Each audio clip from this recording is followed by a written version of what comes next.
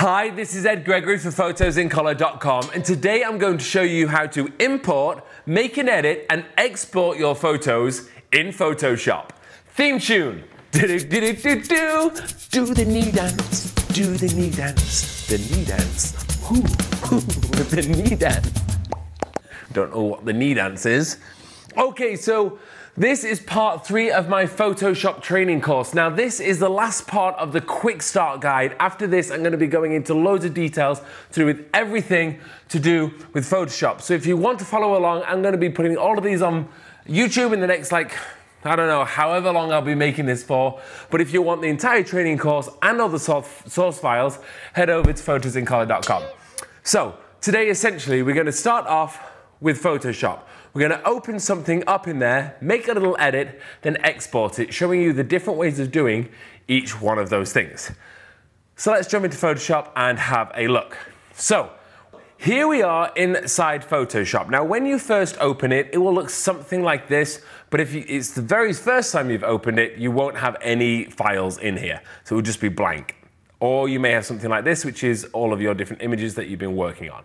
So Two things that you're going to want to do, and they're right here at the beginning. It's super simple. It's a new document or open a document. Now, to show you where you can also get these from, it goes File, okay, New and Open, it's up here, or you've got Command N or Command O, depending N for New, O for Open. So first of all, let's do a new document. So I'm going to go Command N for New, and it's going to bring up this dialog box. This is really simple here. You can name your new project. So we could call this project one, for example. And then you've got a document type. Now, usually just leave it at custom is the most simple thing to do because then you can define everything yourself. So you can choose your pixel size. So for example, I might have it 4000 by 4000 pixels. And you can change this to the side if you want to work in inches and centimeters and everything. Remember, you're working on a screen. So pixels is usually the way to go. And then you've got your resolution. So uh, for a monitor, I would go 96. Uh, 72 is standard, but 96 just means you got a little bit higher pixel range. But if you're gonna do it for print, then I'd set that, say 300 or whatever your printer is. Now, you got your color mode. Now this is automatically set to RGB, but you can change this to anything else down here. I would leave it on RGB and then 8 bits, so you got all of your different options there. Bits mean if you're importing an image like a raw file, it would be in 16-bit, but we're just gonna have 8-bit in there. Choose your background color, okay? I'd leave it at white or transparent, okay? Either one, I would say. And then you've got some advanced things here, which is what your color profiles you want to be in, but it should just be whatever your working is, however you've set up your Photoshop, which is in my next tutorial. So We've got all of that just there, and then you're gonna hit OK. And all it's gonna do is bring up this document, which is essentially your workspace. Now, let me just W to get rid of that, so I've deleted that, and I'm gonna show you what happens to open. Command O, so now I can open a, pro a project or an image. And all, I have an image here, I just go through my documents and I can select whichever one I want, and then double click on it, and it's going to open it inside Photoshop. Now the final thing, way of doing it, is you can go to your computer, like so, and you can just drag and drop an image in. Simple. Now, if you're bringing in a raw photo, or this is a 16-bit photo, what Photoshop's usually going to do is it's going to bring up uh, Adobe Camera Raw. Now I have a tutorial coming up in, for this in the next few weeks, or you can download that tutorial on photosincolor.com right away. So I could come in here and make my settings. Okay, so this is just getting an image. So I'm gonna leave all the settings exactly as they are, and I'm gonna hit open image. And what you're gonna see is it's gonna say this is in a different color space. It may or not, not say this, this is just a notification, and I hit okay, and now I have my image. So there were different ways of getting your image into Photoshop. So now we're here. Now this is where all of the magic happens. Now my entire training course is going to work, work through this, but for today, let's make a, let's really quickly do some things on this. We're going to change her lip color. So I'm going to zoom in on this image by hitting Command plus, and then I'm going to make a selection here. I'm going to use the quick selection tool on the left-hand side here. Now, I'm going to go fairly fast with this because I'm working on this image specifically. Now you can work along with me using this image if you download my training course and you get all of the project files. But there you go, we've got a quick selection of the lips.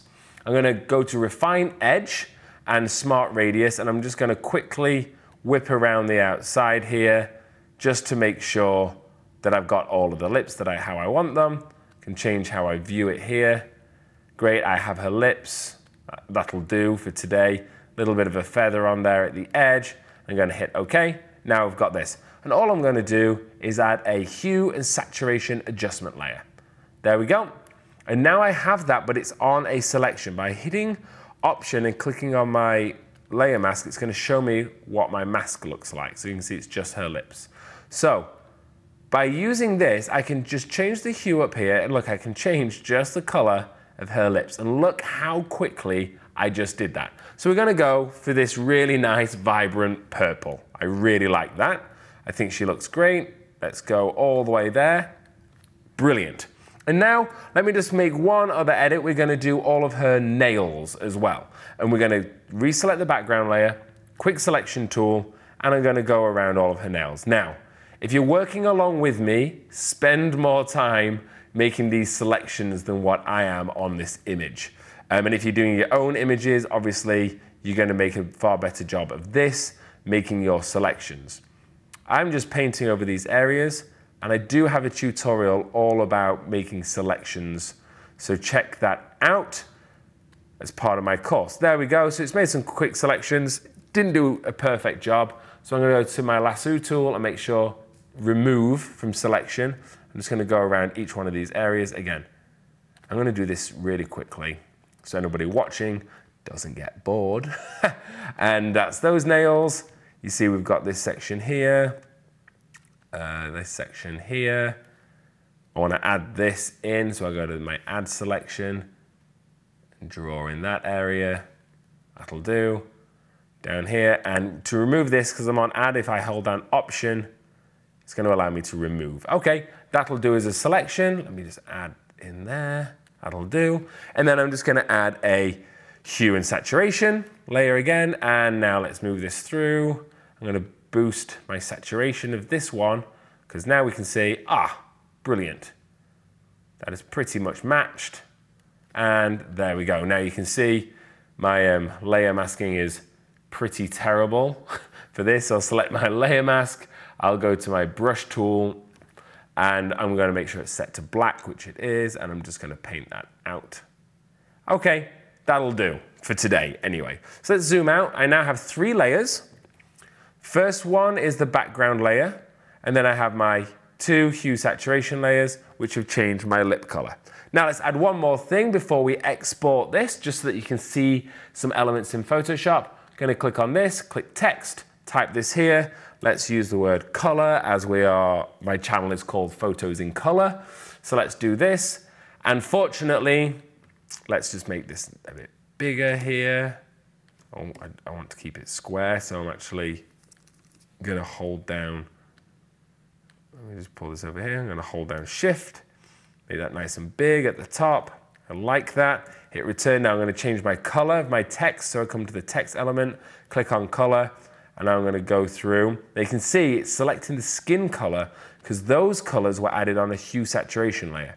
So I'll hide the text, Command Shift E, okay, what's that going to do is going to flatten everything below. So now I have all of those done. So all I have to do now is I can select on this color picker and select on the nails and I can change the color of ooh, my text.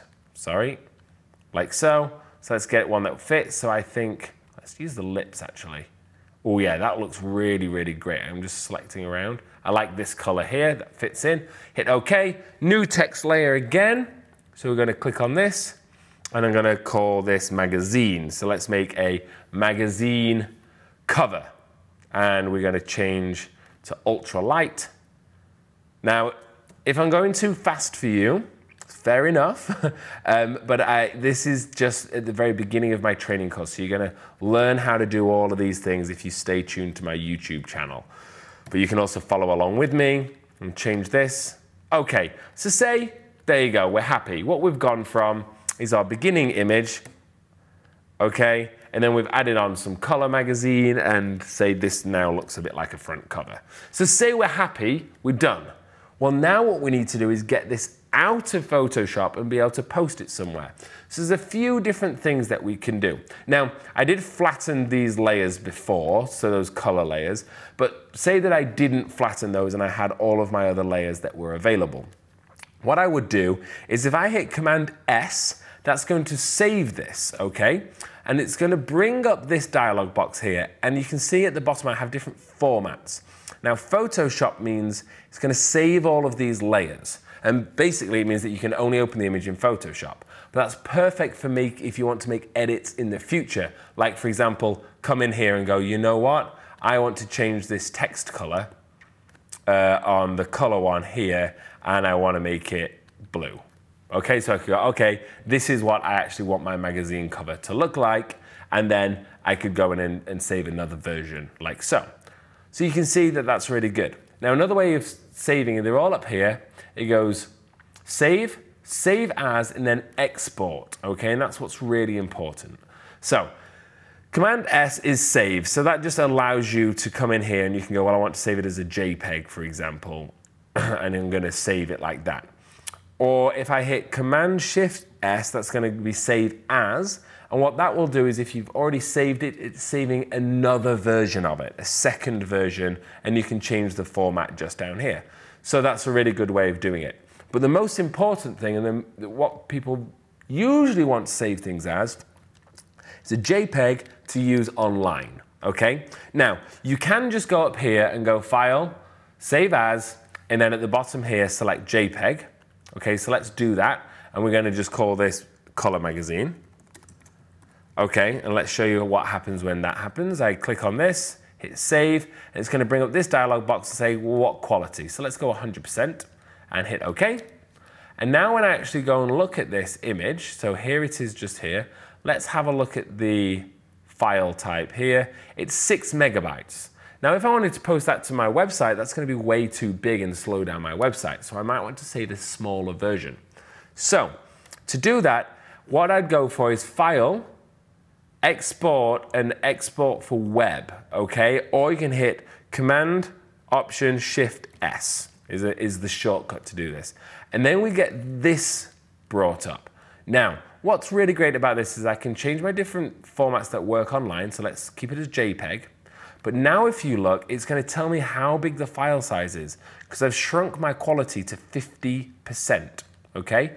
Now that's not half the size, it's a lot less than half, half the size. If you go from 100% just to 80%, you'll see that halves it with just 20 down there. Anyways, you can change the quality, but I might not need it to be this huge image. I might only want my height of this to be say 1000 pixels. So now if I make that, if you watch what happens, 100%, this is now only this big. So it's still very, it's still a big enough image. It's going to fill up anybody's screen. But now at 80%, it's only now 181 kilobytes, which means it's going to work incredibly fast online. And I can go a lot smaller than that if I wanted it to be a thumbnail. A thumbnail might only be 400 pixels online. So then it's going to be like this. Still looks fantastic. It's only 40 kilobytes right now. So now if I hit save, okay, it's now going to save it here and Let's call it Color Magazine Web. Hit save. And now when we actually come out and look at this, we can see this is the large one and then this is my smaller one. And if I zoom in on the smaller one, you can see it's reduced the quality. But what's important here, this may be reduced in quality, but I can save this image as a Photoshop file. So let's do that. I'm just gonna hit save. It's gonna do it as a Photoshop file inside there and it's going to say it's going to keep all my layers. Now if I close this down, so I've completely got rid of that, and now when I open this PSD file, if you look what this looks like, it's going to have my layers, oh, let me just get rid of all that stuff, my layers that I can still go in and I can edit to be however I want it again and again in the future.